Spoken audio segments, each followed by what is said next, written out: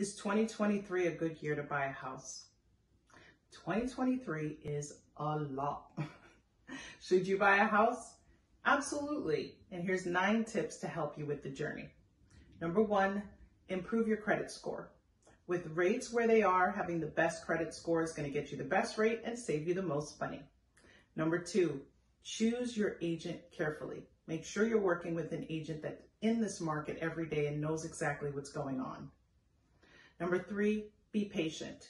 This market does require some patience.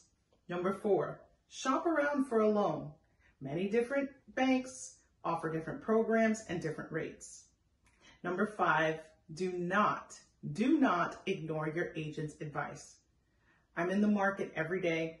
I see what's happening and I'm going to give you the best and most honest advice so you can make an informed decision on how you want to move forward in your home search. Number six, understand your local market.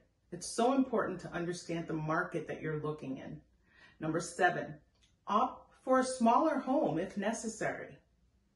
Number eight, negotiate, negotiate, negotiate when the opportunity is there. If you're making an offer on a home that has multiple offers, the room for negotiation goes down. And number nine, figure out your home buying timeline. Having a clear timeline is what's going to help you put together the best plan with your agent. And clarity is power. For this and other tips, call me, Marjory Cesar with Cesar and Associates.